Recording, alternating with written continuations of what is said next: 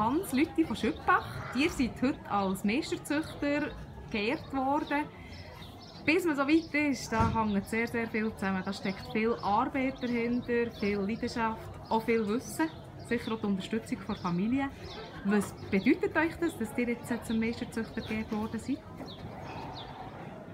Ja, das bedeutet mir grosse Genugtuung, dass ich äh, als kleiner Betrieb die, die, die den Meisterzüchter Titel habe bekommen Eben, wie ihr seht, viel Arbeit steckt dahinter. Eben die Leidenschaft für die schwarze Kuh.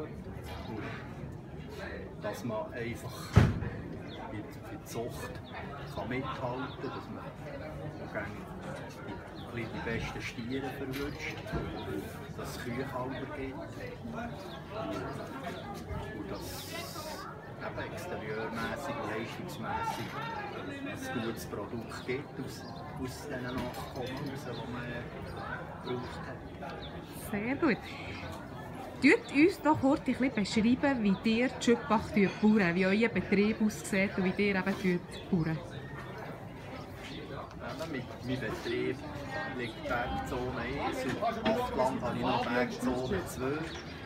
Ich habe mittlerweile noch ein bisschen Schlafs in die Pacht nehmen. Äh, Betriebsgröße ist rund 15 Hektare.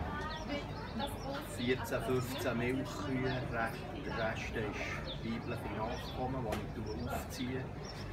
Ich ca. alle Jahr 5 bis 6 Nutz- oder Zuchtkühe verkaufen über einen Händler oder manchmal auch privat, je nachdem. Manchmal verkaufen ich auch noch äh, Kühlkalber, gibt es auch. Jetzt, wo man äh, gesetzten Samen kann brauchen kann, hat man etwa genug weibliche Nachkommen, dass man zwischenfasst Geld verkaufen kann. Und ich gehe 70% auswärts werken, das bedingt, dass die Frau auch mithilft auf dem Betrieb und der Junior. Der werkt in Landi und macht noch Agrotechniker-Ausbildung gegenwärtig.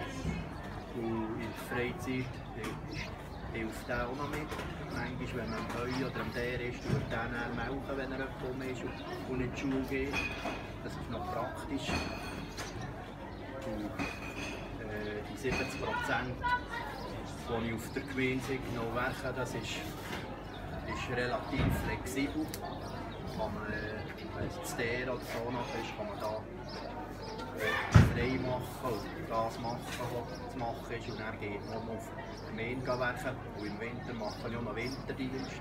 Das heisst, wenn Schnee zu Raum ist, morgen um aus dem Bett auf, auf einen Schneeflug, Traktor und Schnee raus.